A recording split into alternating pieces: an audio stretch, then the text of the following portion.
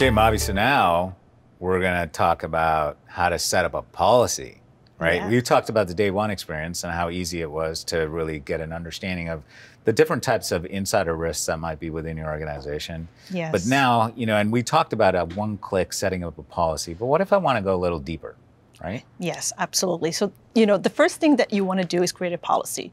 And that's, that's how you define the types of insider risk that you want to detect in your organization, right? Mm-hmm. Because insider risk policies determine which users are in scope and which type of risk indicators are configured for alerts. So let's take a look at the policy dashboard, okay? Policy dashboard is one-stop shop to see the policies that are configured in your organization, as well as the status of alerts that are associated with each policy, mm-hmm. as well as the policy itself. So we have policy templates. We have created pretty fun templates for you to quickly get started. We have a lot of those. Yes. And you know, we base these templates on common use cases that already define the type of risk indicators and scoring models. This is an intuitive wizard that will walk you through each one of these templates and help you quickly create a policy. So, like if I wanted to go in and create a policy for uh, departing employee data theft, I could use this wizard to go do that. But Yeah. not only that, I think the wizard allows you to customize as well, right? everything. So let's start with the templates, mm-hmm. okay? We have templates for general data leaks, right? As we understand that protecting and preventing data from being leaked is one of the biggest challenges organizations have today. Right. Especially now, you know, with the new reality of working from home. Mm-hmm. And in addition to that, we also have templates for employees that are either unhappy, you know, by their performance review or either about to leave the company.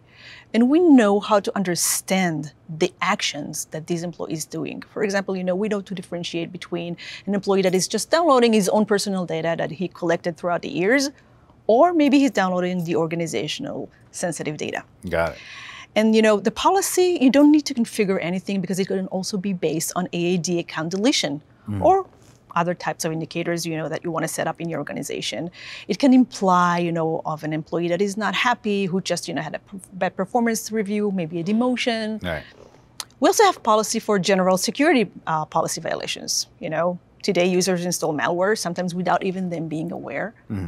We know how to take care of that as well. Right. No configuration needed. Unlike these other solutions, this one, you just set up the policy, scope in the users, and Exactly. then move forward. Let's take a look now and how, you know, we can cover a use case. Yeah. Okay? Let's take an employee departing. Okay? You got to choose this use case. Simply cr- choose the users and the groups, you know, that you want them to be part of your policy. Um, you can specify certain SharePoint or even labels that are powered by Microsoft Information Protection um, information types.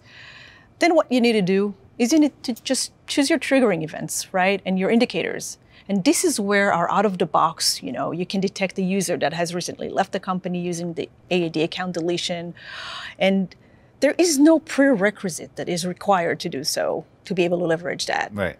And everything is done within the wizard. You know, you can turn on your indicators for your tenant. We want to make sure that all these indicators that you choose to start monitoring is an explicit opt-in from the insider risk mm. management admin, so that you have explicitly given this right to detect this. So with this button, we will suggest all of the indicators that you've met the prerequisite for, and you just hit allow. However, you can also edit permissions, and if there's a certain indicator that you don't ha- want to start monitoring for your organization, you can just deselect them as well as in this workflow. And once you do that, you can also see, you know, all the activities that will start being risen over the policy.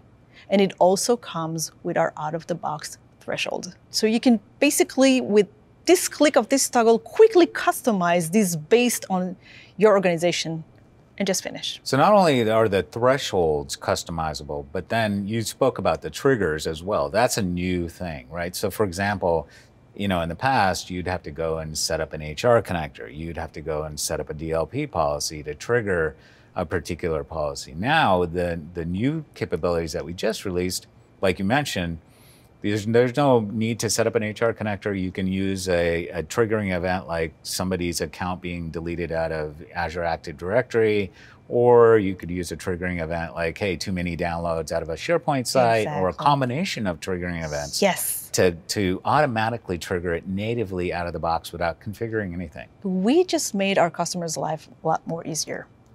That's it. Triggering events, and they can indicate on your risk uh, on your company. However, there is one more important thing, you know, that Yeah. I want to talk about. That's the policy health. You know, so once you finish configuring your policy, then you go back to the policy page here, Mm-hmm. and after that, you can check that the policy is actually working as expected and as you configured it. So let's take a look at this example. You know, I see a warning for my confidentiality obligation during departure. And this, for example, is using, you know, HR connector.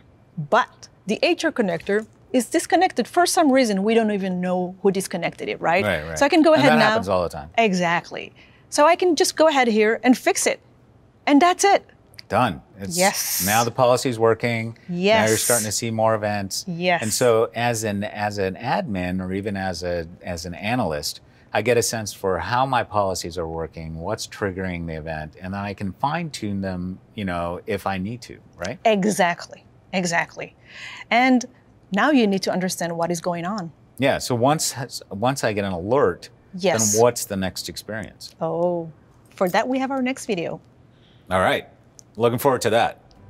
Definitely check out uh, the other episodes that we have, and there are uh, a number of resource links below. Uh, so take a look at those when you get a chance.